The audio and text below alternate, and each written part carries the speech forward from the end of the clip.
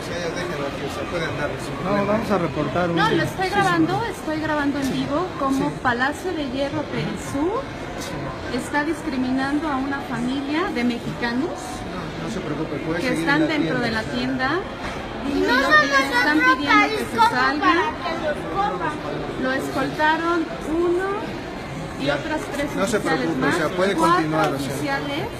Oficiales, cuatro personas escoltando a una familia de mexicanos. Qué vergüenza. De dar continuar aquí, discúlpenos, le pido una disculpa. Les deberían de dar vergüenza.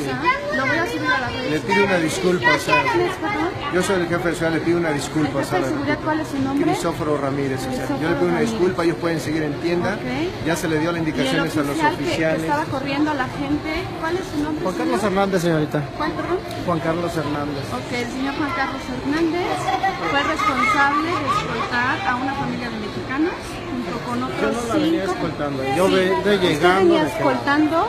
Fuimos testigos, señor, fuimos testigos de que cinco oficiales y usted estaban escoltando aquí a la señora y la estaban invitando a salir. La señora dijo que no se iba a salir y ustedes le estaban tomando de los brazos para sacarla. No la Esa es discriminación. No la Esa es discriminación. ¿Por qué no invitan a salir a todos los demás clientes? No, mamita, están no la tomamos ni la toqué. Es acoso, rodear a alguien de policías. Bueno, señora, usted se puede quedar donde usted quiera. No la pueden sacar. Es discriminación y por eso están los derechos humanos. Puede andar aquí con sus hijos, puede hacer lo que usted quiera. No tienen por qué invitarla a salir a ningún lado. ¿Ok? Bueno.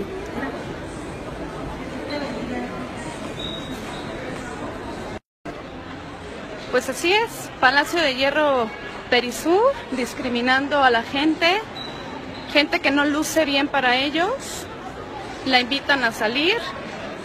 No, muy amable, muchas gracias. Para que no compren en Palacio de Hierro y para que me ayuden a difundir, por favor.